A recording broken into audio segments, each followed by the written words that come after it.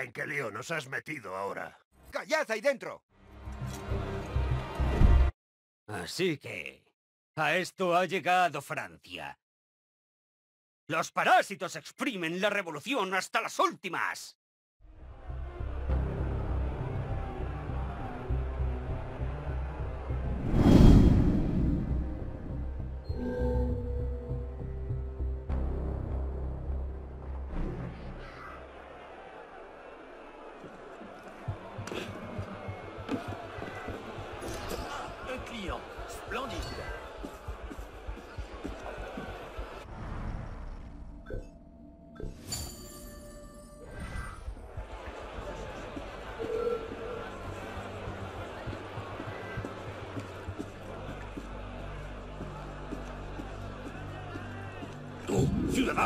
Espera. Los hermanos y hermanas de la revolución necesitan comer. Por todo, ahí seguís, acaparando y escondiéndoos como ratas. ¿Y por qué? Porque sois unos avariciosos.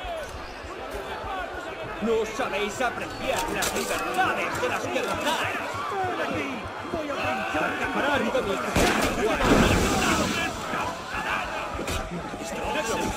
¡Detenedlo! ¡Abre las puertas, por favor! ¡Detenedme!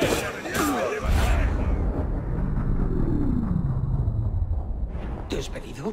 ¿Pero por qué? Monsieur Latouche, su informe tenía numerosos errores. Señor, comprobé los números tres veces. No hay ningún error. Desaparecieron 10.000 libras de las arcas de su majestad. Lo siento, Latouche. Adiós. Monsieur Latouche, me han dicho que eras del fisco. Sí, señor. Bien. Me serás útil entonces. Es parasitismo, simple y llanamente. ¿Qué es eso? Son los canallas engreídos que solo se preocupan por sí mismos en lugar de trabajar. Si supieras todas las cosas que oyen las ratas del jefe, Cuéntame más cosas sobre ese jefe. Muy bien. Que el padre del entendimiento nos guíe. el padre del entendimiento nos guíe. ¿Qué desea que haga, gran maestre? Pondré sus servicios a disponibilidad de nuestro agente en la convención. ¿Le Pelletier? No, Le Pelletier es útil, pero no es nuestro único aliado en el gobierno. Monsieur Latouche, le presento a Monsieur Maximilien de Robespierre. Monsieur, he oído que Versalles está repleto de parásitos. Estamos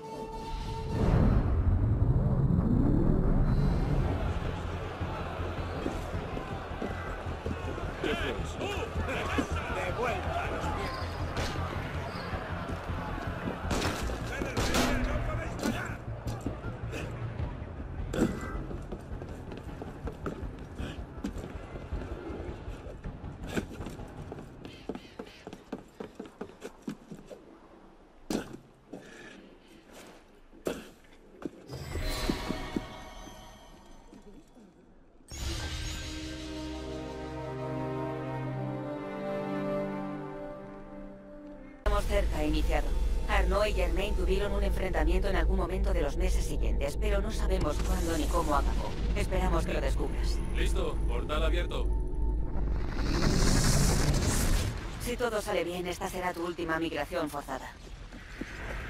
Y si no sale bien, sufrirás daños en el hipocampo y habrá que alimentarte por vía intravenosa durante el resto de tu vida. Mejor dejamos ese tema, ¿vale?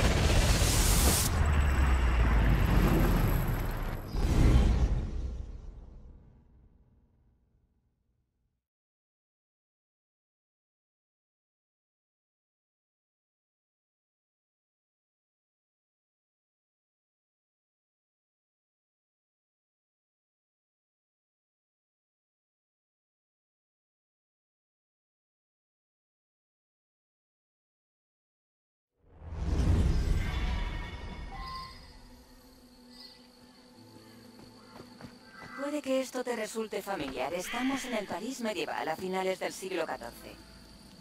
Estás fuera de los muros de la ciudad. Encuentra el modo de volver.